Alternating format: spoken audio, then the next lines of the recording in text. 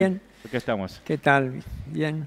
¿Cómo nos estamos preparando eh, para lo que viene? ¿no? Viene Ah. una etapa seguramente dura, Sí. de mucho trabajo con el tema de, de las elecciones, las pasos y todo lo demás. ¿no? bien. Estamos trabajando bien, con mucho entusiasmo, porque estamos, estamos en este desafío que es la, la elección del departamento de Rivadavia. Eh, ahora se van a oficializar las listas y ya comienza virtualmente la campaña y obviamente en la paso del Frente para Todos, cuyo candidato a gobernador es eh, eh, Sergio Uñac. En, el departamento hay tres listas y estamos encabezando una lista, una lista que se ha logrado eh, articular con distintos matices, con distintos sectores políticos, sociales, pensando también en la expresión de los distintos eh, sectores y distritos del departamento de Rivadavia. Así que una lista que, refleja la unidad, esta unidad que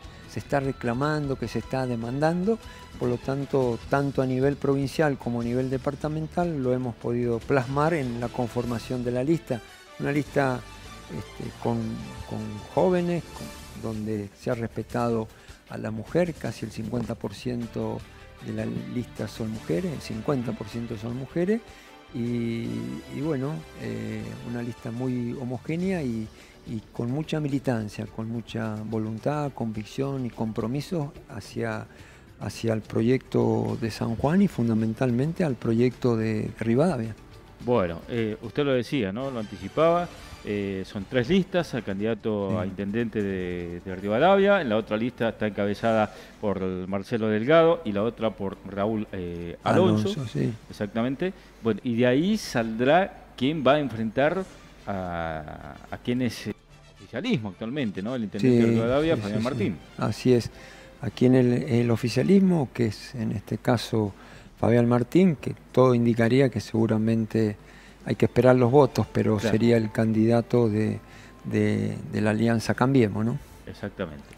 Bueno, eh, ¿y cómo se está trabajando en ese sentido? ¿Qué es lo que ha podido observar en estos eh, en este tiempo que ya han, sí, estamos, la campaña? digamos? estamos trabajando, estamos recorriendo el departamento, hacemos este, reuniones eh, en los distintos lugares, fundamentalmente escuchando, escuchando al vecino. ¿Qué dice el eh, vecino? ¿Qué- qué- Bueno, mire, la verdad que, que nosotros no solo conversamos de la cuestión departamental, porque hay una situación que está atravesando y es una crisis muy profunda a todos los sectores de la sociedad, eh, a los sectores más vulnerables, a los sectores más humildes que están muy bien localizados en determinados lugares del departamento, pero también están afectando a los sectores medios, obviamente producto de las políticas nacionales que, que impactan en, en la, en la gente y hoy se están sintiendo fuertemente por, porque, bueno, este, el tema de la inflación, una inflación que ha estado cerca del 50%,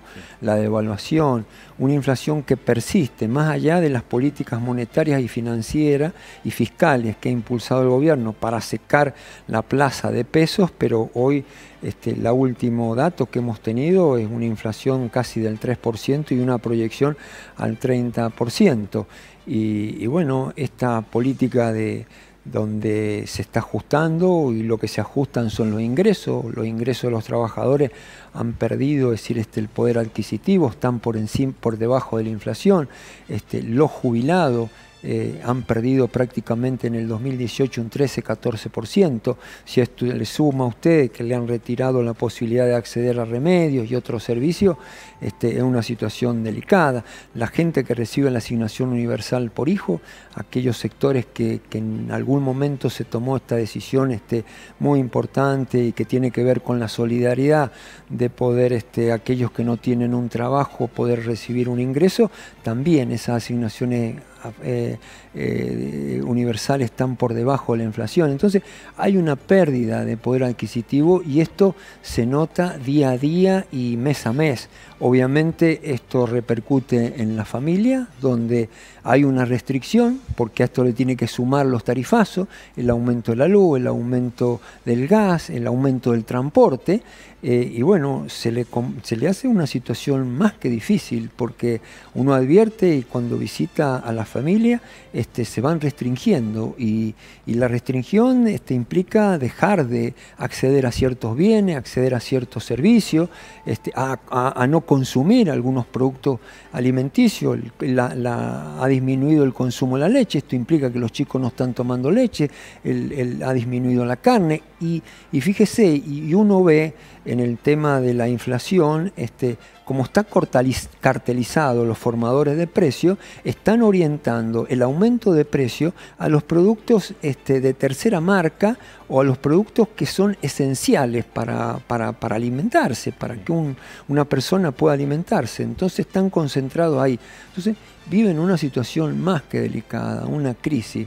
Y, bueno, tratamos de, hablar y de reflexión, que reflexionemos sobre esta crisis, porque la verdad que hoy los argentinos no nos merecemos este, estar viviendo de esta manera. Ajustes que, que también implican no solo el ajuste para el jubilado, para el trabajador, sino también para las provincias. Este, las provincias se ven afectadas porque hay menos recursos, la, la, obra, la inversión en obra pública a nivel nacional ha disminuido, la construcción ha disminuido, la industria ha caído.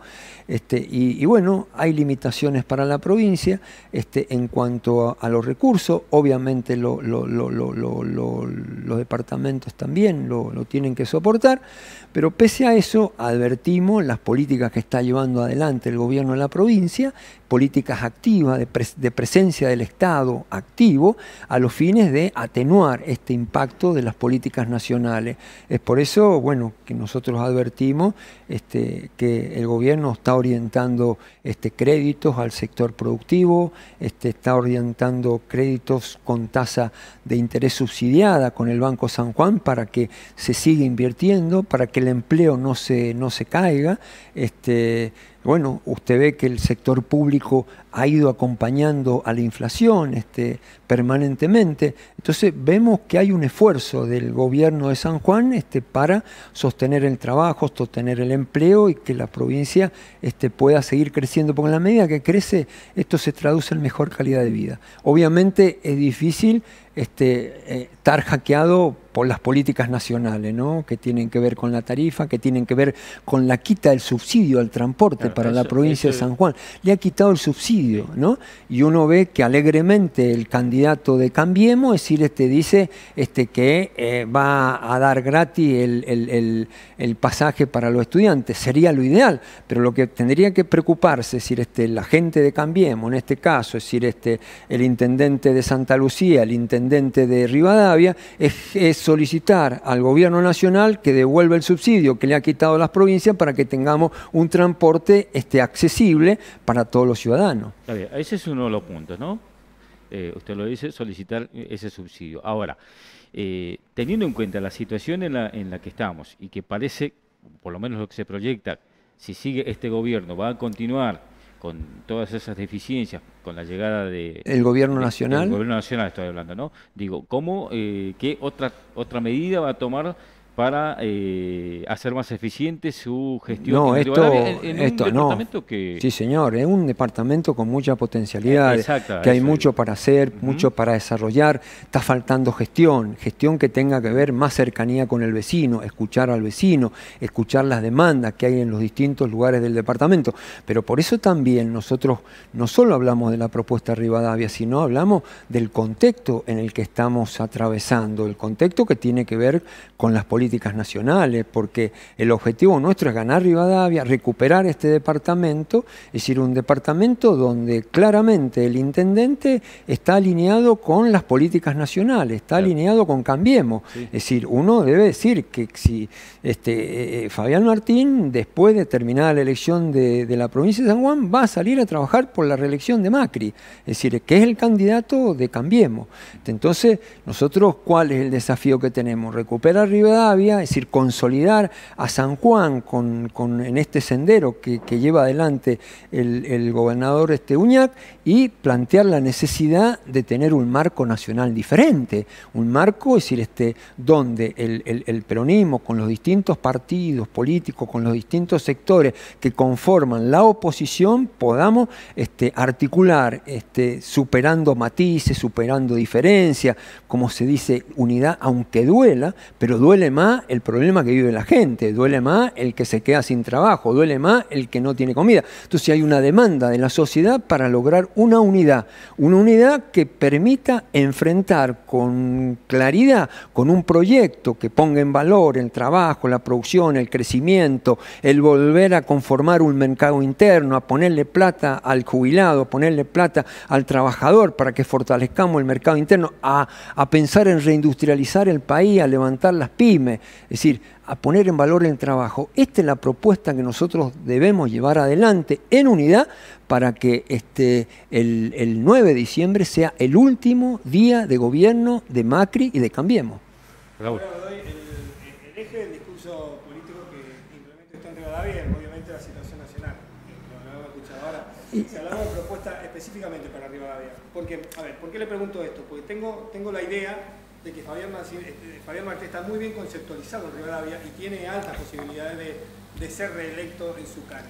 Sí. ¿Cómo se combate eso? No, usted fíjese que es cierto, este, hay aspectos de la gestión de Fabián Martín que son absolutamente valorables, que son rescatables. Y nosotros ganamos el municipio, las vamos a continuar. Es decir, uno ha visibilizado este, plaza, espacios verdes, lugares de esparcimiento, el parque. Este, son cuestiones importantes que obviamente nosotros las vamos a continuar.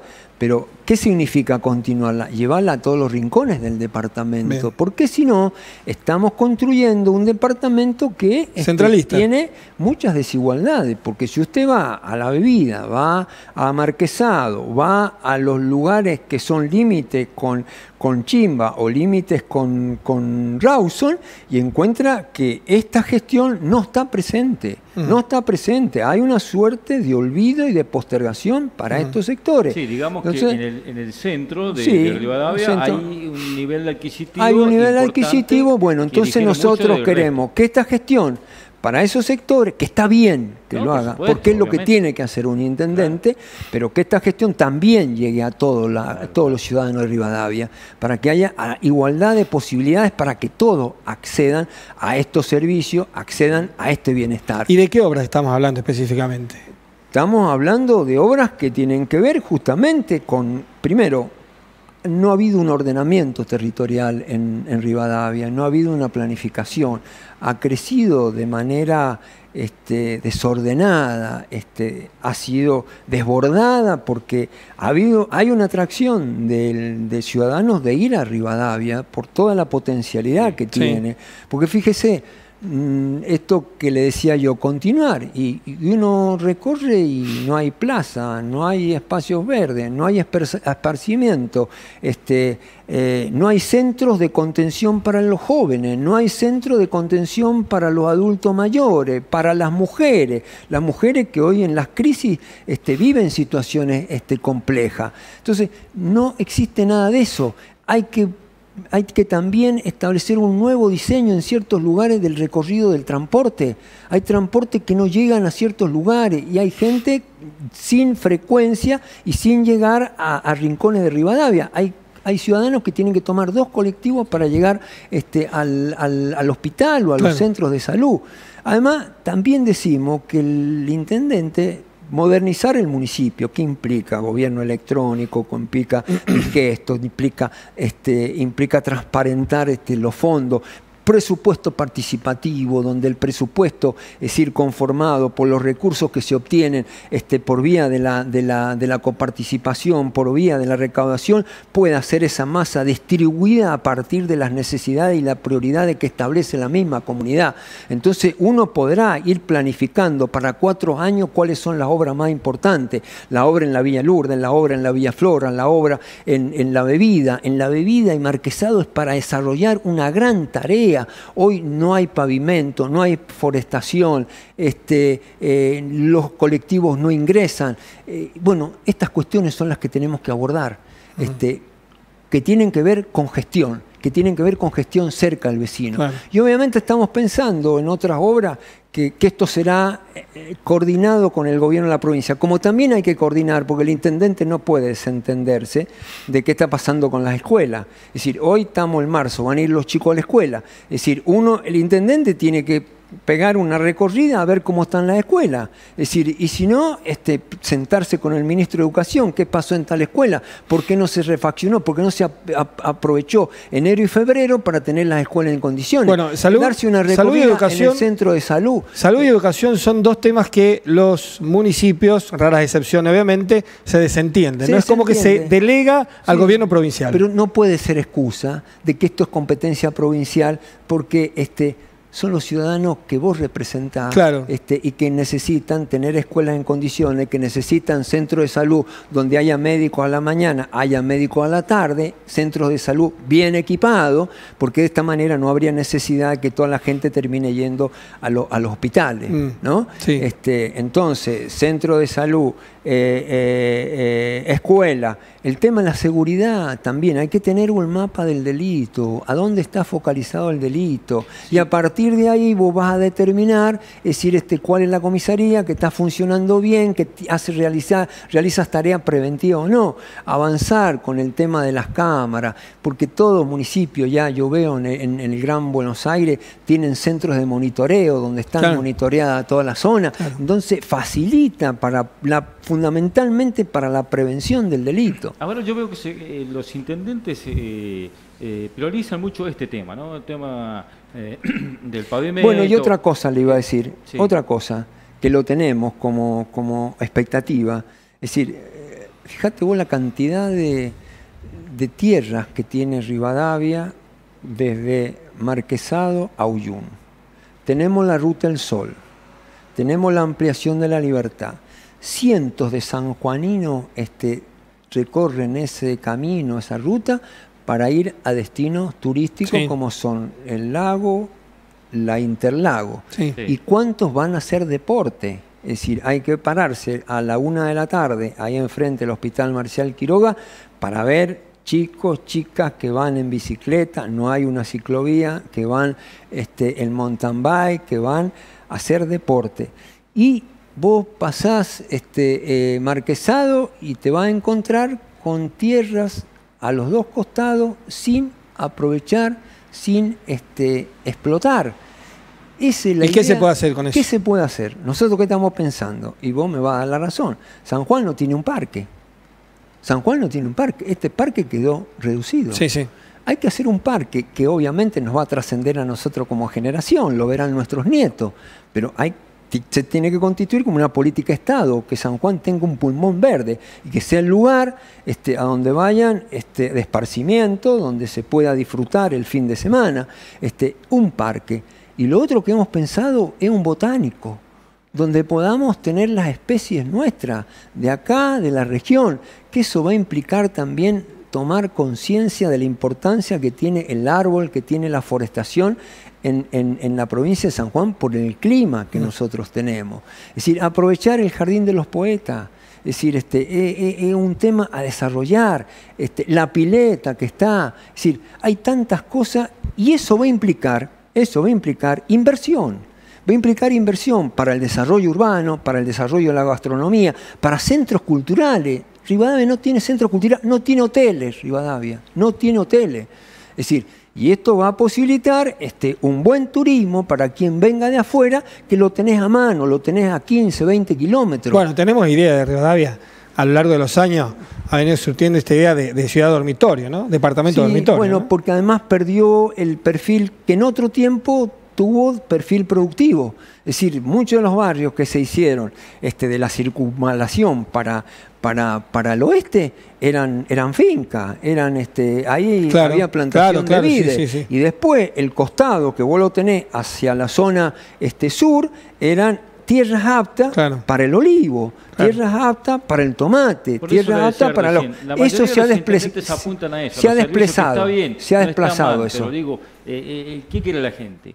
Que se le genere trabajo. Sí, bueno, pero hay que, hay que pensar en otro tipo de trabajo. ¿Sabes por qué? Porque se desplazó el perfil productivo. No pensés que vamos a, a, tener ya plantación de olivo, plantación. Va a haber desarrollo urbano. Como él dice, la mayoría de la gente trabaja, es decir, este, en otros lugares y duerme allá.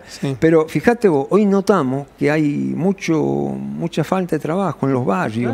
¿Y, qué, es lo que hay que hacer? ¿Qué hay que hacer? Mirá, es decir, este, una idea que, que surge con la gente ayer en los barrios que no tienen cordón cuneta, que, el agua este, los invade permanentemente con lluvia. Y hay gente y chicos este, sin trabajo. ¿Qué es lo que hay que hacer?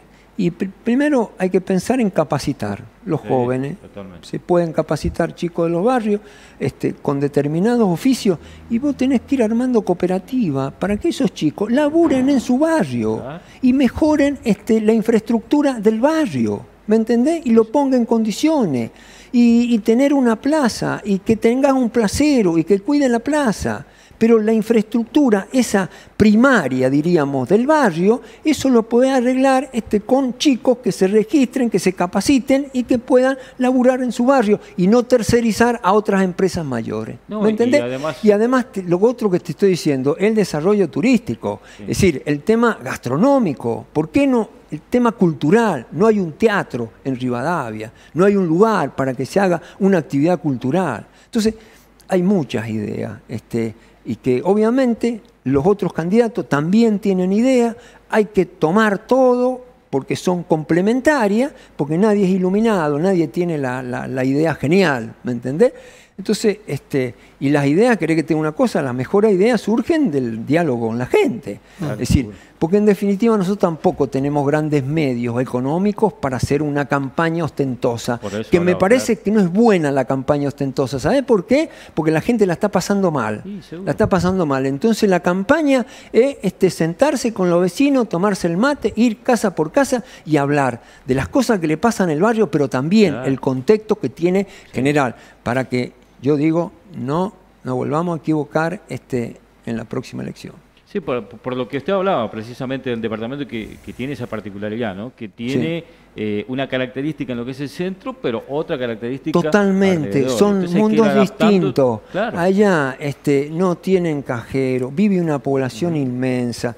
Hay que trabajar con, con los trabajadores sociales, con los asistentes sociales, porque fueron barrios que se radicaron, este, están allá, pero hay que seguir, hacer un seguimiento, que tengan buena atención médica, que tengan la escuela, que tengan la plaza, que tengan el centro. ¿Qué tiene que ver esto? Incluir, incluir, integrar. Esta es la tarea que nos vamos a proponer hacer. Y en los primeros días a los lugares que están tan olvidados, tan marginados, y seguir manteniendo este, la gestión que ha realizado este, eh, el intendente Martín, que ponemos en valor muchas cosas. Este, así también tenemos críticas para otras cosas, pero vamos a continuar lo bueno que ha hecho. ¿Y cómo se convence a los peronistas de Rivadavia? ¿Es difícil? ¿Estaría difícil eso? No, bueno, pues, nosotros tenemos una historia, tenemos una idea. Porque antes de la general están las primarias. Sí, porque es prácticamente como una interna. Era la interna que teníamos antes, los peronistas, que íbamos, votamos. Y lo estamos haciendo de una manera respetuosa, es decir, este, una manera que no, no descalificar, porque en definitiva saldrá primero uno, segundo el otro y tercero el otro. Y bueno, este habrá que ayudar y colaborar al primero para ganar el departamento. Es cierto, es. Sí, es cierto. Es cierto eso. no sé, vos no me habrás escuchado ninguna, ninguna crítica. El primero gobierna, el segundo y el tercero se van y se olvidan. No, bueno, vamos a intentar que no sea así, porque es un desafío grande Rivadavia. Es un desafío grande. Es decir, no, este, hoy no gobierna eh, este, el peronismo. El, peronismo. Es decir, gobierna Cambiemos. Gobierna Cambiemos. Es decir, este, entonces el desafío es justamente decir, este, poner este, como objetivo ganar este municipio han tenido el tiempo suficiente para poder eh, visitar la gente. No, recién hemos arrancado hace poquitos días porque la candidatura surgió así este, de un momento para otro. Hay otros compañeros que están más instalados, que vienen trabajando. ¿La, la candidatura la propuso usted? ¿Se la sugirieron? No, es decir, una, estaba ahí dando vuelta, es decir, este, terminó el gobernador diciéndome que, que, vaya de candidato. Este, y bueno, unos me decían, mirá, pero vos has sido senador, has sido diputado, pero ¿qué interesa? Uno termina siendo un militante de la política y tiene que estar a donde cree que tiene que estar y cree que tiene una cosa y además a uno, a uno que le gusta esto, este, el trabajar con la gente le encuentra sentido a la política, le encuentra sentido. ¿Y sabes qué? Y hay algunos que dicen, no, pero no hay que hablar tanto, hay que... No, sí hay que hablar, hay que hablar y hay que escuchar. Hay que hablar y hay que escuchar. Este, y yo la verdad que este, yo me siento orgulloso de la tarea este, que hacemos desde la política, porque nuestra, nuestro objetivo es transformar la realidad. Obviamente nos podremos haber equivocado, por supuesto que habremos cometido error y nos hemos equivocado, pero uno, este, el objetivo es transformar la realidad.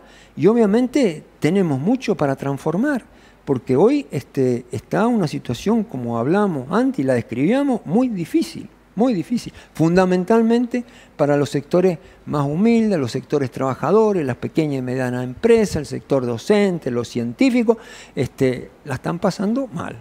No se puede coincidir el 100%, pero ¿cuánto coincide y cuánto disiente con el gobernador Sergio Uñac? No, hemos coincidido, en un, obviamente le ha dado una impronta diferente y, y fíjese que hay que ponerlo en valor, porque él está gobernando, este, con un gobierno nacional este, que está en las antípodas de su pensamiento. Es decir, este, acá Uñac está, las acciones que lleva adelante tienen que ver con motorizar este, la actividad económica, motorizar el crecimiento. Es decir, este, los empleados públicos van acompañando la inflación. Es decir, este, obviamente, eh, eh, con dificultades, está tratando de sostener la obra pública y a nivel nacional este, se hace lo contrario. Entonces, creo que hay que poner en valor lo que ha hecho, este, porque tenemos un gobierno nacional que los recursos los restringe al máximo. Una, mm, un alto sentido de cintura política mostró el gobernador en este tiempo que le ha tocado este, manejarse con, el gobierno nacional, ¿no? Porque la verdad que es diferente cuando uno tiene un gobierno nacional afín. Es decir, es diferente. No, no, totalmente. Es diferente, nosotros lo hemos vivido. Es decir, este, y esto no le quita mérito a, a, Gioja. Este, pero fíjese, este, se planteaba un dique y vinieron dos diques, el bicentenario y el bicentenario. Es decir, se pudo dar esta, confluencia de capacidad de gestión, pero fundamentalmente gobiernos que tenían una mirada federal y que este, planteaban eh, como cuestión fundamental el crecimiento, el crecimiento de la Argentina y el crecimiento de las economías regionales. Las economías regionales crecieron, crecieron.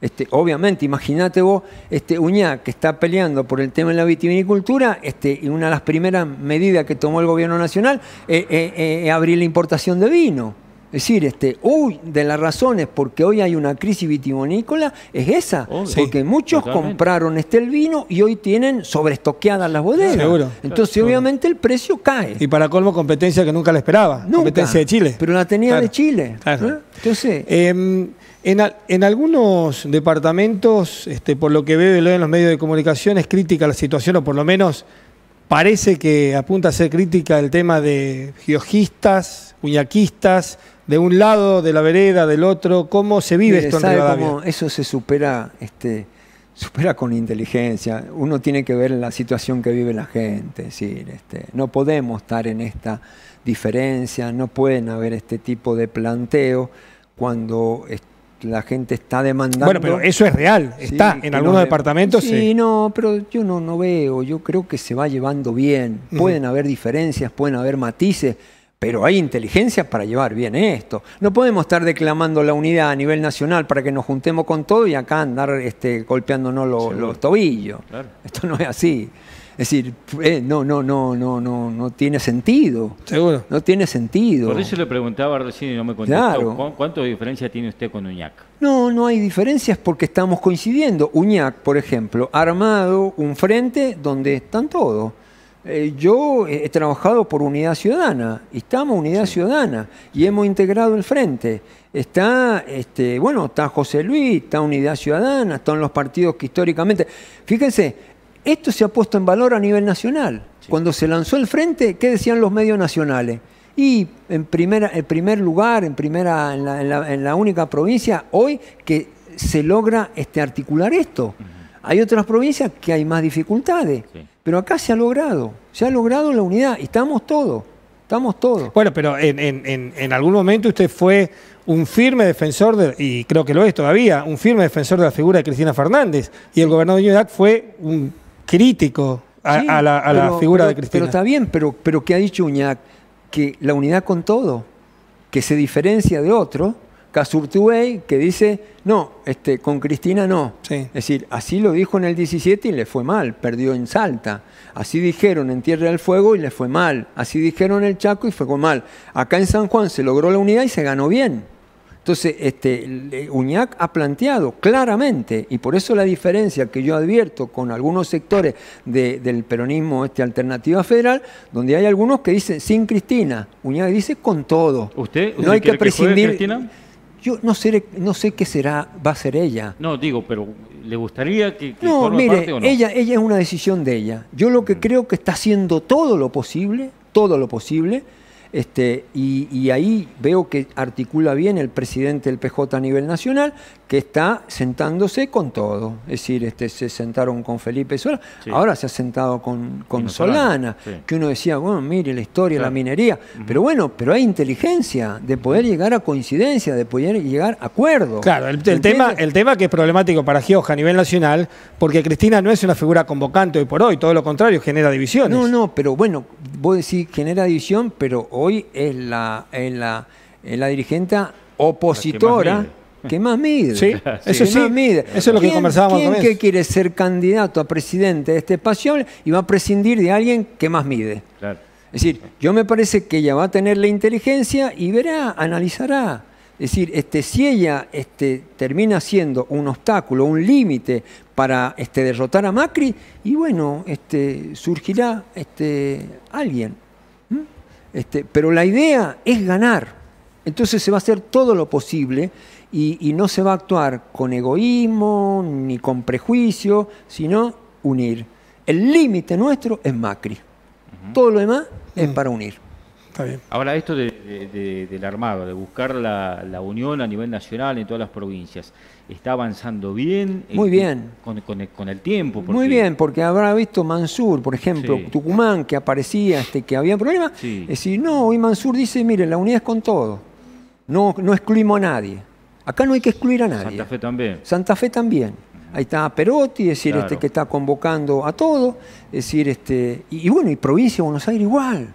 Provincia de Buenos Aires igual, están todos, este, y, bueno, y, me parece que, que, la responsabilidad nuestra frente a la profundidad de la crisis este, es unirnos. Porque además hay otra cosa, vamos a recibir mensaje, porque acá hay este, hay una estrategia comunicacional por parte del gobierno, es decir, este, muy fuerte, de comenzar a comparar los datos de ahora con el año pasado. El año pasado han sido negativos todos. Tal vez ahora te empiece a decir, che, mirá, la inflación va a ser el 30%, no el 40%, vamos a bajar. Es una este, estrategia, claro. Una estrategia, es decir, compararlo al 2015. Comparar al 2015. ¿Cómo recibieron ellos el país? Compararlo del 2015 y con las promesas que ellos hicieron. Inflación cero, este, impuesto a la ganancia que no iban a pagar los trabajadores, este, pobreza cero, no, inflación eh, que la iban a controlar de taquito, pobreza cero, el endeudamiento. Dejamos un país con el 30% en relación al PBI de deuda. Hoy estamos en el 100%, casi 100 mil millones de dólares. 100 mil millones de dólares, no dejan un país endeudado, un país con alza, y con la recesión, la recesión, porque han tratado de, controlar este, y lograr la estabilidad fiscal, financiera y cambiaria, es decir, con la recesión, es decir, este, con recortar el consumo y con secar la plaza de peso. Entonces, están asfixiando a todo, cientos de empresas. 2.500 comercios encerrados. Sí, sí, sí, ¿Saben? Ha bajado el consumo de todo. No solo de la carne, de la leche, ha bajado el consumo de los medicamentos. Y no es porque la, gente esté con una salud extraordinaria, es porque no tiene plata para comprar remedio. Ha bajado el consumo de los servicios, consume menos energía, consume menos gas, consume menos electricidad, consume menos transporte. Esto está pasando. Entonces, la inteligencia es unirnos. ¿Y cuál es la estrategia de ello? Porque ya lo ha dicho el presidente hace unos días. No, hay que seguir haciendo el esfuerzo porque después vienen tiempos mejores. ¿Sabe cuál va a ser el, si llegaran a ganar, qué es lo que viene? Y que lo, que lo quieren hacer ya no gradualmente, sino en poco tiempo, porque el compromiso lo tienen ellos con el Fondo Monetario. Porque el fondo, ¿qué es lo que quiere? Monitorea para después cobrarse las deudas, las acreencias. Lo que quieren, déficit cero, dicen. Déficit cero. Mire, no hay ningún país en el mundo de los que crecen, los que se desarrollan, que tienen... ¿Saben cuánto es el déficit de Estados Unidos? El 4%. ¿Saben cuál es el de Francia? El 3%. El de Inglaterra, ¿sabe cuánto? El 2%. Acá déficit cero, pero no te dicen que hay un déficit financiero. El déficit financiero porque este, la plata, que el capital que tenemos que pagar este, a los acreedores. Entonces, ¿qué, no, ¿qué nos quieren decir? Que después viene lo mejor. ¿Saben lo que van a meter? Cómo le meten la mano al sistema jubilatorio. Cómo extienden, le dan la jubilación al hombre y a la mujer. Exacto. Cómo privatizan el sistema. Cómo van a la reforma laboral a precarizar el trabajo. Cómo van a terminar entregando vaca muerta. Va a pasar esto. Va a pasar esto. El único este, apuesta que fue en realidad en los gobiernos nuestros que descubrimos vaca muerta y que le dimos maneja, que es la segunda reserva este, en el mundo de gas y la cuarta en petróleo. Es decir, este, eh, entonces van a terminar vendiendo y van a terminar privatizando IPF, van a terminar privatizando aerolíneas. Esto viene, esto es lo que viene. Y la gente más justa. Pero ¿sabes por qué lo hacen? Porque tienen una concepción una concepción distinta a la que nosotros planteamos. Nosotros planteamos la igualdad de oportunidades, una distribución más equitativa del ingreso. Ellos no. Ellos piensan que hay un sector que es el que tiene privilegio y debe seguir manteniendo el privilegio. Y el otro es el sector que debe laburar. Y además tienen un perfil de un país que no se industrializa. Es un país que no se industrializa porque las industrias las han liquidado a partir de la apertura indiscriminada. Entonces no, no hay, no hay industria este, es un país que pretende vivir exclusivamente de, lo que exporte eh, los grupos concentrados de la soja, del maíz. Mm. Esto, las empresas energéticas y este vaca muerta. Piensan en eso, nada más. Bien, senador. Bueno. Eh, ha sido Senador, mandato cumplido. Sí, mandato cumplido. claro, mandato cumplido, exactamente. Eh, ¿No van a quedar eh, heridos después de estos pasos? No, no, no queda nadie herido. ¿No? No, no, Todos van a trabajar bien y va a ser una competencia leal, sin descalificación y bueno. Este, y algunos saldrá primero. Bueno. Muy bien, eh, lo vamos a seguir convocando porque esto seguramente va a, necesitar de más análisis, de que ustedes eh, hagan llegar también la propuesta a los televidentes, a, los lectores, así que vamos a seguir en contacto. ¿eh? Muchísimas gracias. ¿eh? gracias para ustedes. Tenemos que ir al cierre ya de nuestra emisión de hoy. Ha sido dinámica informativa aquí en el canal 35.1. Después de la pausa hay más información aquí en el canal.